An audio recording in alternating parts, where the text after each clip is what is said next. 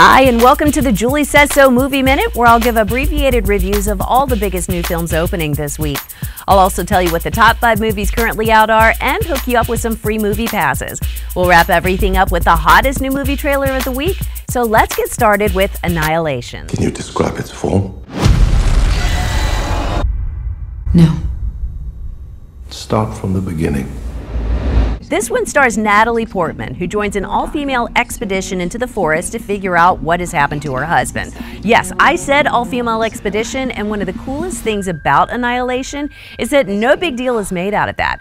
This group of scientists and medical specialists, including Tessa Thompson, Jennifer Jason Leigh, and Gina Rodriguez, have to figure out what this odd force called the Shimmer is and how exactly it's affecting everything it comes in contact with.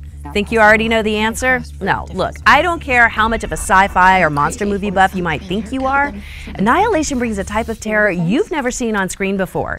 Even better, this is book one in a three part series, and the follow ups are already in the works. So if you like scary flicks, good old fashioned monster movies, or just being shocked right out of your seat, Annihilation is the film for you. That's why I'm giving it an A. Also in theaters is Game Night. I have kids at home. Not with an ass like that, you don't.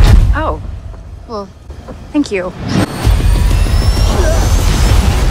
starring Jason Bateman and Rachel McAdams, whose murder mystery party might involve an actual murder. Bad guys show up, fake weapons end up being real, and an unexpected someone turns out to be a real criminal. Now, comedies like this tend to fall into a trap of too many twists, and Game Night is no different. In fact, the plot gets so ridiculous it's borderline insulting. It's like directors John Francis Daley and Jonathan Goldstein thought their awesome cast would let them get away with anything, and there's something to that. Jason Bateman essentially plays Jason Bateman. He seems like he's winking at you the whole time. Kyle Chandler is perfectly smarmy as his big brother. And Rachel McAdams is so cute that she's almost too cute. Well, I'm probably just jealous. Jesse Plemons steals the whole show, though, as their creepy neighbor. I can't tell you how much I love Jesse Plemons. This is why game night, much like your average real life game night, ends up being far more fun than it deserves to be. So I'm giving it a B minus. You can find more extensive reviews and some free movie passes on my website, juliesaysso.com. In fact, I had some to see Jennifer Lawrence and Red Sparrow, but they might be gone. That's why it's smart to check back daily to see what I'm giving away. If none of those sound like your thing, maybe something in my top five movies to see now will.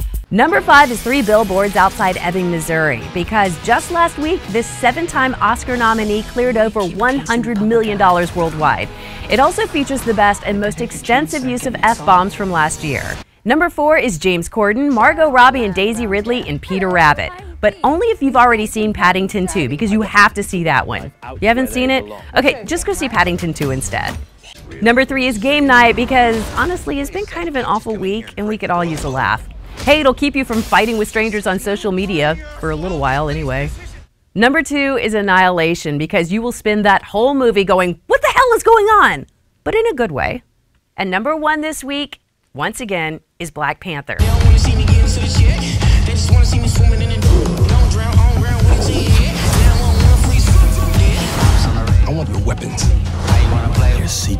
Have you seen it yet?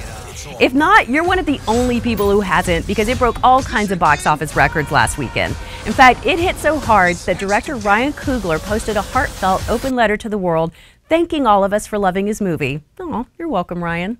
Tune into the Julie Says So Movie Minute next time when I'll cover Jennifer Lawrence in Red Sparrow. Fingers crossed that Jennifer Lawrence finally gets another good movie under her belt because it's been a while. Remember, you never have to pay money for a bad movie again. Just find comprehensive movie reviews and free movie passes on my website. Or follow me on social media on Facebook, on Twitter, and Instagram. And subscribe to my YouTube channel. You can find all of those links and more on my website, juliesaysso.com. And the hottest new trailer this week comes from Disney Pixar's Incredibles 2. Honestly, I wasn't that jazzed that they were making another one, especially since it's been 14 years since the first. Then I saw the trailer and found out that Elastigirl is the star this time. She has to go out and save the world while Mr. Incredible stays home with the kids, so at least there's a fun twist. Incredibles 2 hits theaters June 15th, but you'll probably be able to get free passes to see it at juliesaysso.com. I'm Julie Fisk, and that's your movie minute. Watch after Jack Jack. You heard your mother. Trampolining. We meet again. Superheroes are illegal. We want to fight bad guys. I need bad guy. It defines who I am. We're not saying you have What? Someone on TV said it.